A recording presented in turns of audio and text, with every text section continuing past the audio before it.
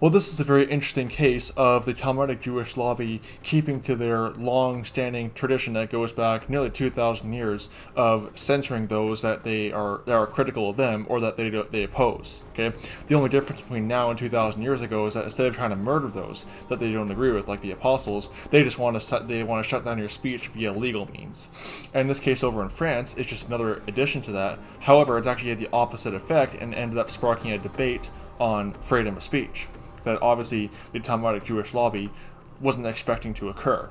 It says here on France 24, French ban on anti-Semitic comic fu- uh, fuels free speech debate, as it should. You know, but the thing with the Talmudic Jewish lobby is that it's only free speech if they agree with it. See, they will invoke free speech when they agree with what's being said, but if they don't agree with it, well, well they want Nazi-style censorship. But it says here in the article, sorry about that, just has something on my face. It says in the article, a decision to ban performance uh, performances by French comic and convicted anti-Semite Dayu Doni Mabala, I think that's how you say it, has been praised as a victory by the government, while many say the ban undermines free speech. In a legal tug of war that played out on Tuesday, a court in Nantes, western France, overturned a ban that city's authority, city authorities had, had imposed on a da, show due to open doors due to oh, due, sorry due to open its doors that evening.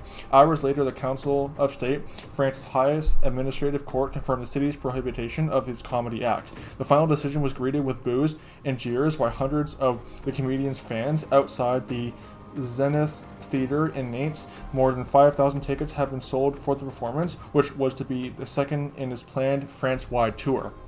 See, it's comedy, but you see the Talmudic Jewish lobby, even comedy, if, it, if they don't like it, they want to shut the thing down.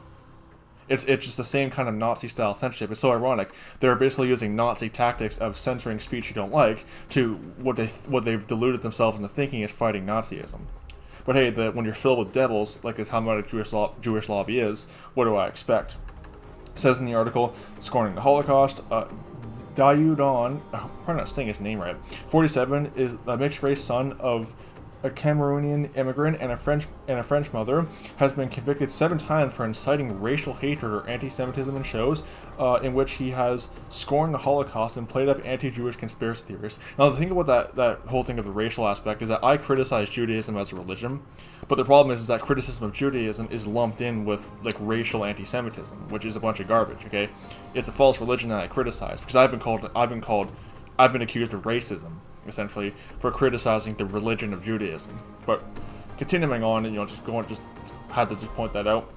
He also popularized the uh, QN, whatever you say it, the hand gesture, uh, which the French Interior Minister Manuel, Manuel Valls has called an inverted Nazi salute.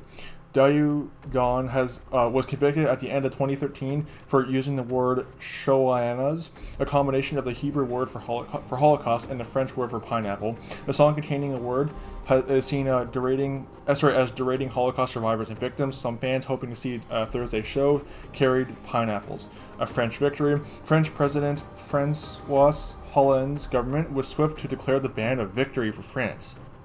France, yeah, the country that's supposedly a champion for free speech censoring speech and, basically this Nazi style this Nazi style censorship of speech that's unpopular in supposedly this secular democracy that that is you know that in which free speech is supposedly a pillar of society.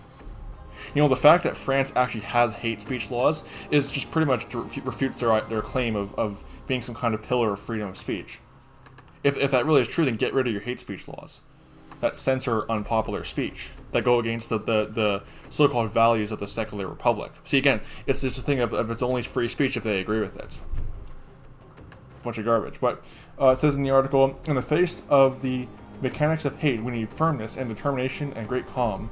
Valls said after the, the Council of State announced its decision. Valls declared that France has been made stronger by the decision to keep the guy to keep the guy basically off the stage in Nantes but the combat against the, the nauseating words of his personality continues, he said uh, on iTele TV station, citizens should not go to these shows. It's called freedom of speech, you know? How would you actually be consistent with the so-called values of a secular republic and not try to censor stuff you don't like? Earlier that week, he told the cabinet no one should be able to, to use the show for provocation and to uh, promote anti-Semitic ideas. Democracy defeated. Yeah, it kind of is actually when you're censoring speech like that in a Nazi type of way. Uh, but critics have described the ban as a, uh, sorry, I'm not good at reading things on a computer, but essentially they're they're uh, describing as basically just a fake victory, with many claiming that making a martyr of uh, Don will only strengthen his support and weaken France's precious freedom of expression. The last minute move to ban Dayu I can't say the guy's name properly. His stand-up show was a defeat for France, according to Ange, Angie's uh, Tricoire of the French Human Rights League. Yeah, exactly. If France is truly built on freedom of speech, then censoring this guy is, is a defeat for France. You know, because it's it totally goes against the idea of freedom of expression. It's comedy. You know, you know, see, again, like I said, the fact that there even is hate speech laws in France, it just it just refutes their claim of trying to be some kind of freedom of speech uh, crusader. Because if that's so, then get rid of your hate speech laws. Don't arrest people for, for saying stuff about Judaism or saying stuff about you know the Sodomites or whatever else. If you, the fact that they're arresting people for saying stuff like that is just you know, it, it just destroys their whole claim of trying to be a free speech crusader. But again, once again, the, the Talmudic, you know, Judeo-Satanist lobby just doing what they do best, acting like Nazis, and censoring those they don't like. And then claiming some kind of victory for a democracy. What a bunch of garbage. But hey, what's to be expected? May the grace of our Lord Jesus Christ be with all the brethren. Goodbye.